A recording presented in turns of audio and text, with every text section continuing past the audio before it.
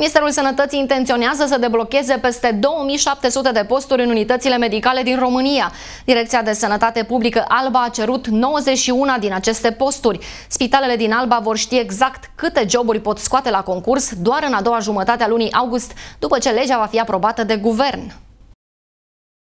Sistemul medical din Alba se confruntă cu o lipsă acută de personal, fapt care acum se resimte mai pregnant pentru că este și perioada de concediu. Direcția de Sănătate Publică Alba a făcut demersurile necesare pentru a se putea face noi angajări, atât pentru medici cât și pentru asistente, infirmiere și îngrijitoare. Posturile vacantate în perioada 1 ianuarie-30 iunie 2012 la nivelul uh, județului Alba Uh, sunt în număr de 91 de posturi, dintre care 23 de posturi de medici, 2 uh, de farmaciști, 3 alt personal sanitar cu studii superioare, chimiști, biologi, 42 de posturi de personal mediu sanitar și 21 de uh, persoane ca, figurând ca și personal auxiliar.